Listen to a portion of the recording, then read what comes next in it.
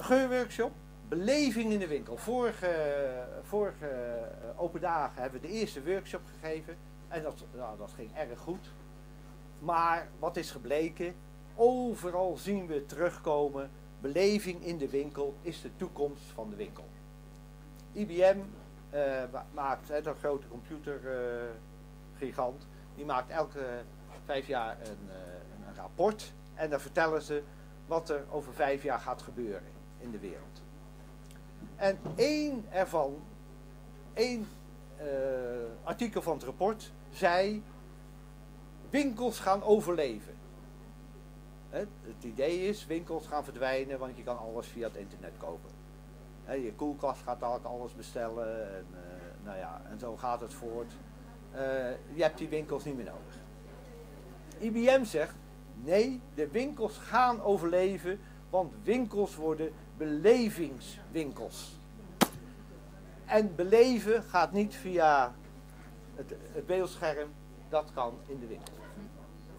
Eh, overal waar we kijken in, in eh, retail nieuws komt dat terug, beleving. Dus we hebben gedacht, nou we gaan gewoon, we borduren voort op de vorige keer.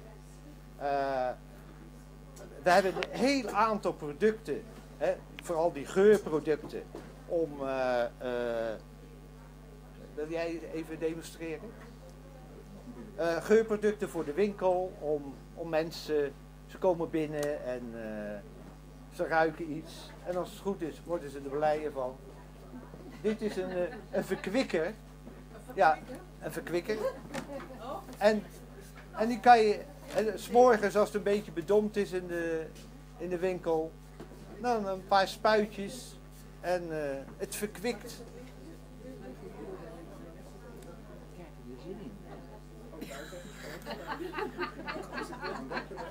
Waar in de koningin? In de winkel. Jasmijn. Ja, eh, de- we, hebben, In de winkel. We hebben een heel aantal verkwikkers. Eh, maar zelf kan je het ook even onder een verkwikker douche gaan staan. Als je even wat minder energie voelt. Nou, we hebben ook Aura parfumsprays. Dus dat is eenzelfde soort iets. En dan gaat het, de verkwikker is voor het verkwikken. En die Aura parfumspray is echt voor eh fantastisch. Ja, ja nee, in, in principe is zijn geur en verkoop bevorderend. Ja, wij, en ze hebben het onderzocht in eh, boekwinkels. Chocoladegeur in boekwinkels plus 20% omzet. Nou, nee, nee, maar, maar zo, zo kan je. Sinaasappelgeur is bijvoorbeeld eh, eh, rustgevend, maar ook activerend, maar agressie onderdrukkend. Dus dat gebruiken ze in, bij politie, op politiebureaus. Dan worden mensen wat eh, minder agressief. Nou, zo, zo zijn er. Ja, kijk, eh, wil je eh, de, wat rozemarijn, hè? We hebben allemaal essentiële oliën. Als je nou zo'n aromalampje neemt en je doet rozemarijn. Nou, dat is voor iedereen opbeurend. En tegenwoordig is er dan ook wetenschappelijk onderzoek allemaal gedaan waaruit blijkt dat het allemaal klopt. En dan wordt bij mensen gemeten en eh, ja, eh, de zenuwen worden ontstrest, et cetera, et cetera. En lavendel is ook een, dat is al heel lang bewezen dat het rustgevende effect heeft en dat je er beter door slaapt. Dus er zijn allerlei dingen die u gewoon in de winkel kan zetten om, eh, om mensen te verwelkomen, op te beuren, een steuntje in de rug, eh, wat energie te spuiten. We hebben ook nog roomsprays. Dat is met, met de parfums die, eh, die jullie kennen uit, van de wierook. Nou, en dat is, dat is gewoon om een, een geurtje thu- thuis. in- straks echt? Nee hoor, nee, nee. Omdat het niet chemisch is, eh, hoef je niet bang te zijn dat u eh, over drie dagen ergens loopt en dat ze zeggen van... eh, Waar komt die vandaan? ja. India. Ehm, we hebben. Mensen achteraan verstaan je niet goed. Kan je misschien een beetje halverwege Oh, dat ik eh, halverwege staan, ja. Ja? Ja, ik, ik heb het idee dat ik al heel erg. Ja, u, uh, u, u staat, u staat nu jammer toch niet helemaal achteraan. Dus, ja, ik eh, ga maar hier staan. Nog verder? Eh, we hebben nog een heel bijzonder product. Eh, en dat zijn die harmonie- en voelgel. En die zou je ook als belevingsobject in de winkel kunnen zetten. En, eh, oh, dat zijn deze. En we hebben er een aantal gekozen en die vindt u daar op, ook terug op de thematafels. Dan heb je bijvoorbeeld ontspannen zenuwen. Nou, die zet je of zomaar of samen met ontspannende producten op een tafel. En dan kunnen we zeggen, er staat er een Ja, wat is dat nou? Nou, hoef je alleen maar vast te houden. En dan, dan, dan voel je dat je zenuwen ontspannen. Dus dan voel je, voel je lekker rustig worden. Nou, nou, een hele leuke service. Je hebt weer iets om te praten. Je hebt een hele leuke aandacht aan mensen. En als je zou willen, zou je het ook kunnen verkopen. Het hoeft niet, maar het mag. Eh, nou, en zo, en dan hebben we ontspannen zenuwen voor ontspanning, blijheid van leven voor blijheid en allerlei geuren en producten die je blij maken. Eh, we hebben liefde en dan hebben we een speciale, dat is liefde voor jezelf.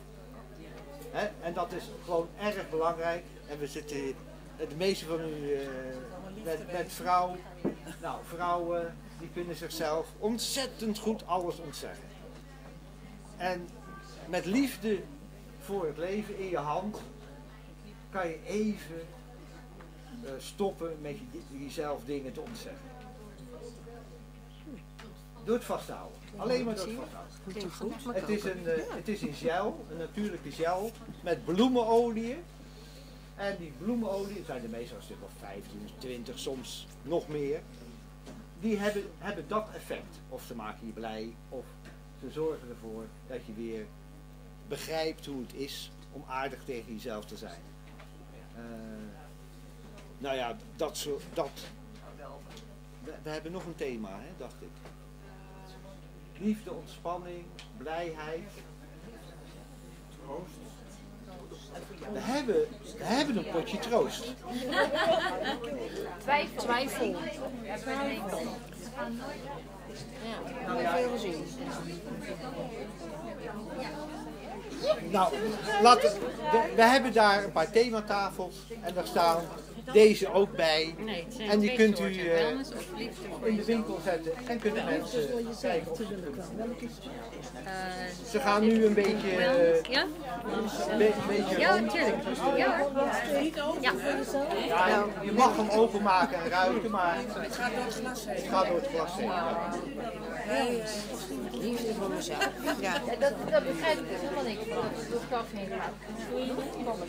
door het werkt wel. Nou, jij moet thuis staan. Ja, ja het is... eh, Het werkt. Ja, ik heb één wel. paarden, wellness. Ja, paarden, soms met paarden, maar dat heeft ook weer een betekenis. Dus ik heb één, nou dat kan ik al niet eens meer zien wat erop stond. Maar dat is ook iets van zelfvertrouwen. En nog één, en als ik gewoon slecht kan slapen, dan pak ik echt een potje wel eens. En niet hoor, ik wil niet zeggen dat mij gewoon voor mezelf. Of ik Het, eh, het, het potje, dat hoef je maar één keer te kopen, want het blijft altijd goed. Het blijft, je, je kan het blijven eh, gebruiken zolang als de wereldwinkel of uw winkel eh, bestaat. Deze mevrouw heeft een leuke ervaring met, met een voelcel met haar hondje. Ja, mijn, mijn hondje is te vroeg bij de moeder weggekomen. Hij is vijf jaar oud, maar hij is dus heel erg verlatingsangst. Eh, als ik gewoon wegga, dan, dan jankt hij gewoon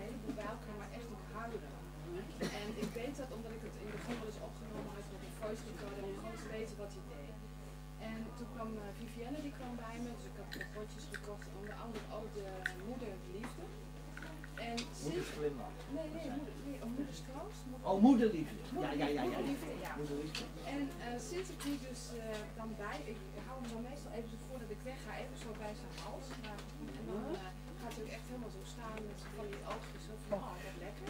Dan doe ik het potje gewoon open, zet ik in de kamer en ik ga weg. Toen heb ik het een aantal keren weer opgenomen op een voice recorder. En hij blaft nu en dan nog wel eens, maar gewoon meer omdat hij dan ja, ergens wat hoort waarschijnlijk. Dat huilen, huilen, ja, Ja, ja, ja. Ik kan ook niet lezen.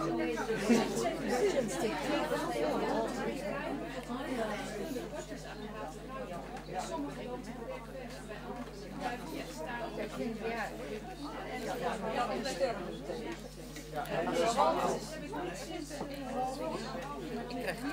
Heb jij de liefde? Michel, pak jij die? Ik niet bij. Als u meer wilt weten over die uh, voelcel, ik, ik, ben, ik ben steeds daar en dan kunt u van alles vragen. Eh, maar alles wat op de themastafel staat, kunt u gewoon in uw mandje doen en meenemen. Eh, ja, beneden afrekenen, maar. Ehm, Ehm, even de beleving eh, in, in, in de winkel. Dat zijn een aantal eh, eh, producten die, die we daarvoor kunnen aanbieden. Maar wij waren af, afgelopen weekend op de Lotusbeurs. En daar was iemand, een organisatie die al 30 jaar bestaat, kruiden. En die hadden allemaal eigen verbouwde kruiden en gedroogde kruiden, allemaal biologisch, et cetera. En toen dacht ik, nou dat is nou leuk voor wereldwinkels. Waarom? Hè, want wij horen dat het aantal producten in de wereldwinkels af en toe ja, te smal is of er is niet genoeg. Ja, wa- wat moet je dan? Nou, wij dachten, nou waarom kan de wereldwinkel het niet uitbreiden met streekproducten? Ja, ja, daar is allemaal niks, niks op tegen.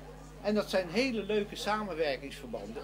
Er zijn twee eh, wereldwinkels die bijvoorbeeld samengegaan zijn met de molenaar in het dorp. En die, die verkopen dan pannenkoekenmeel van de molenaar. En bij één zelfs brood en gebak. Met het meel van de molenaar.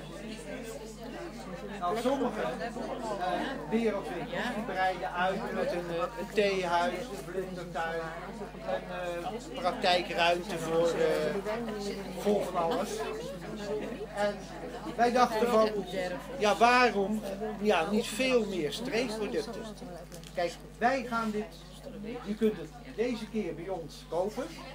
Het is niet de bedoeling dat het in ons assortiment komt, maar dat u het direct bij kruidenrijk zou iets kunnen kopen als u dat een goed idee vindt. Het, eh, het zit in Hagen in, eh, in Brabant. Hagen. En dat is, het is allemaal heel, het is kleinschalig.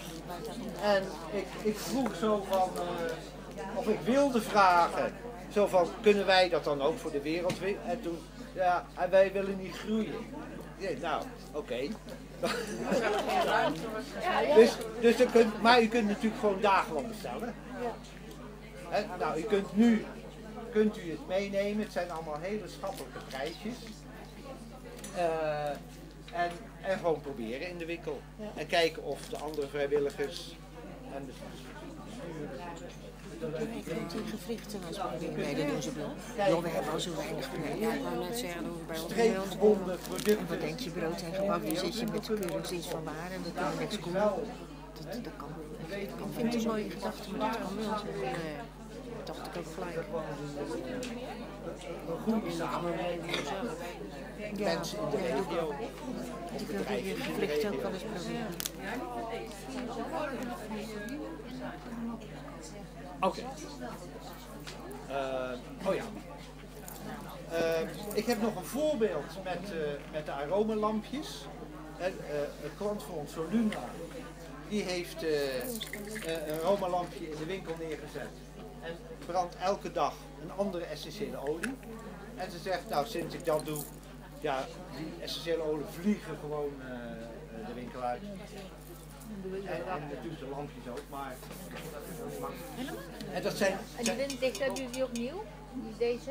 nou, dat hebben we gewoon voor de veiligheid even gedaan. Oh, en het maakt ook wel makkelijk om, om te ruiken. Ja.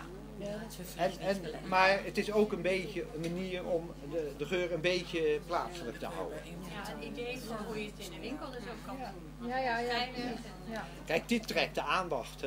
Ja, het ziet er ook leuk uit. Heb je die ook, eh, deze? Ja, het is allemaal voor eigen, eigen spul, maar eh, Oké. je kunt alles meenemen. Wou vragen. Dat is voor dikke Alles is te koop. Ja, je Eh, weet we, het niet. we- eh, we- we hadden ook nog het voorbeeld van essentiële olie met de mopjes.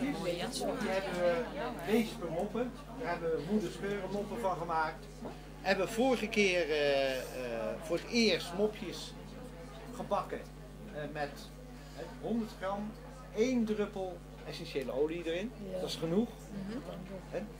Zes druppels is echt heel erg te veel.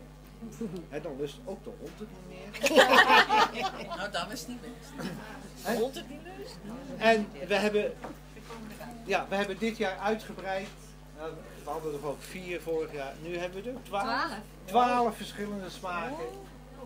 Het is, eh, het is een idee van hoe je essentiële olie kan gebruiken bij het, eh, bij het bakken vooral, maar ook in het koken. En wij zijn niet zo gewend om olie, eh, essentiële olie te gebruiken. Maar er- ja, het komt er steeds meer in. En bijvoorbeeld in Frankrijk, lavendelkoekjes, ja. Heel- Die maakt iedereen. En als je bijvoorbeeld Snoepjes met rozen vers hebt, kan je een druppeltje wel doen. Straks Ja. nog eentje, dan ben je helemaal niet meer. Ja. De mopjes komen eraan om te proeven, maar het was nog niet helemaal klaar. Oké. Ehm, heeft u nog een vraag? Ehm, dames en heren, mag ik nog even uw aandacht? Ehm, er is een vraag gesteld. Eh, wat is het verschil tussen lavendel absoluut, lavendel, zachte lavendel en boslavendel en Engelse lavendel en Franse lavendel?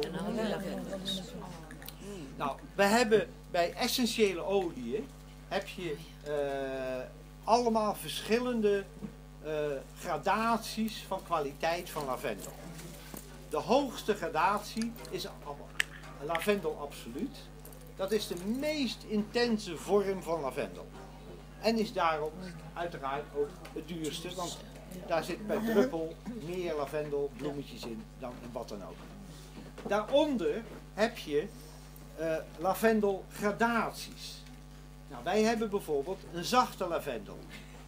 Nou, dat vinden wij, dan zeggen wij, nou, heb je wel eens een lekkere, lekkerdere lavendel geroken? Zo'n zachte lavendel. En dan zeg ja, maar er is toch ook lavendel absoluut. Ja, maar absoluut is te intens. Het is zo intens dat het eigenlijk niet zo lekker meer ruikt. Dus moet je het verdunnen. Dan verdun je het met olie of zo. En dan gaat het eh, lekker ruiken. De lekkerste kant-en-klare lavendel is zachte lavendel. Maar wil je iets goedkopers, dan neem je gewone lavendel. En als je lavendel ziet in waspoeder, et cetera, nou dat, dat is de, de goedkoopste en de laagste gradatie, maar je kan nog steeds ruiken dat het lavendel is. Dan zeg je nou, nou hebben jullie ook nog eens een keer boslavendel, Engelse lavendel, Franse lavendel. Nou, in, in wierook en in parfums. Dat zijn geen, laten we zeggen, eh, een essentiële olie van lavendel. Dat is essentiële olie van lavendel plus wat bosdingen. ah, kan je daar bijvoorbeeld vetiver bij doen of cassia of, eh, en dan wordt het een compositie. Het maar het is nog steeds 70 of 80 procent lavendel. Nou, hetzelfde met Engelse lavendel. Ja, dat vind ik persoonlijk de, de mooiste qua, nou ja, toon, wil ik maar zeggen. Eh, eh, maar die is ook heel zacht. En dan hebben we Franse lavendel, die hebben we niet in wierook, die hebben we alleen eh, in een, in een, in een eh, parfumolie. Maar die kan je branden dan, toch? Ja, die kan je verdampen. Ja. Ja, er, er is een verschil tussen, tussen essentiële oliën en parfumolieën. Essentiële olie, lavendel, is 100% lavendel, of 100% patchouli, of 100% eh rozenhout. Maar de parfumolie zijn altijd samenstellingen om iets, om een schilderij te maken van geur. Ja, ja, oké. En, en die gebruik je niet in eh bij koken. Ja, het is niet dat het mag, Ja, dat is maar je, wilt steeds één geur Ja. eh, toevoegen. En met die parfum, dat wordt altijd heel erg overheersend gelijk. Je weet niet wat erin zit ook. Nou, nee, het is allemaal wel natuurlijk, maar het is eigenlijk te sterk als je kookt. En het zijn ook, je wil eigenlijk bij eten wil je geen parfum eten. Je wil essentiële olie eten. Hij ruikt. En we zijn gewoon niet gewend om parfums te eten. Ja. Nou, ja, dat was even eh, een vraag. Heeft nog iemand misschien een eh, vraag? Een technische vraag?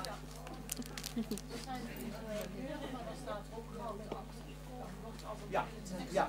Wij, wij zijn begonnen met de moederscheuren. En toen dachten we, nou, we kunnen ook nog een hogere kwaliteit maken met duurdere ingrediënten. Ingrediënten die je niet kan gebruiken in de moederscheur. En toen hebben we de gouden geuren gemaakt. Daar zitten ingrediënten in die, die je niet kan stoppen in de moederscheuren. En er zit af en toe ook, ook al is het maar 1 eh, procent, soms 2 procent, jasmijn absoluut en rozen absoluut. Nou, er bestaat op de wereld geen wierook waar zulke dure eh, ingrediënten in zitten. Dus volledig uniek.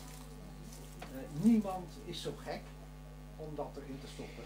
Alleen, wij hebben geen tussenhandel.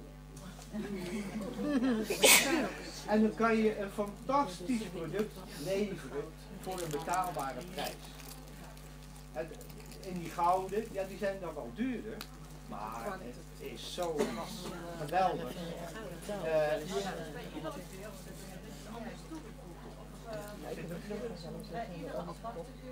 Dat is inderdaad wat hij is zo scherp. Ja, laten we zeggen, je maakt eh, amber en ambergoud. Dan kan je bij ambergoud veel duurdere ingrediënten eraan toevoegen. Ja, je maakt een nieuwe amber. Het, is iets anders. Het is niet dezelfde geur met iets erbij. Het is gewoon compleet een nieuwe soort. Kijk, als je lavendel goud neemt en lavendel zelf, een heel groot verschil geur. Maar dat komt omdat je ja, la- lavendel goud heb je, ja, hoe zullen we dat zeggen, artistiek, meer artistieke vrijheid om, om iets te verzinnen. Er zit wel lavendel eh, rustig gaan nemen. Ja, ja, het is gewoon, de basis blijft lavendel. Alleen wordt meer dingen toch felle herfstblaadjes met spesje. Ja, herfstblaadjes is ook zoiets, daar zitten zoveel dingen in. Ja, en dan heb je herfstblaadjes goud en dan doe je een, een, een, een, vetiver absoluut erbij. Ja, dat kan je anders niet bij doen. En, en dan maakt het het zo speciaal. Ik zou het zo moeilijk vinden om iemand te gebruiken dat in een afgesloten potje toch ziekte of iets werkt. Ja, ja maar ik, mijn advies zeg ik, ja, je moet gewoon die overtuiging gewoon laten voelen. En als ze het kunnen voelen, dat is de overtuiging. Kijk, dat kan het verder uitleggen. Je hebt in de wetenschap natuurlijk grofstoffelijke energie. Hè, Elektriciteit, eh, magnetisme. Dat zijn allemaal dingen die zijn grofstoffen. Maar uw gedachten en uw gevoelens, die kan je niet nemen. Ja, je kan zo'n trilling nemen, maar dat is niet hetzelfde als uw gedachten. Uw gedachten en gevoelens zijn fijnstoffen. Ja, die kan je niet zomaar meten, omdat ze fijnstoffen zijn. Die, moet je, die kan je meten met fijnstoffelijk meetapparaten. Alleen nou, ja, dat is gewoon interessant. Dus die, die zijn Nou, is, zijn energieën van de bloemen zijn ook fijnstoffen. Dus hier heb je je gedachten. En hier eh, heb je de bloemenmix. En eh, zodra ze in contact komen, krijg je bijvoorbeeld een stille roos. Of bij associatie een mooie gedachten. En bij, bij gevoelens precies hetzelfde. We hebben heel veel, laten we zeggen, eh voelzelf op de Dan heb je een disharmonie in je.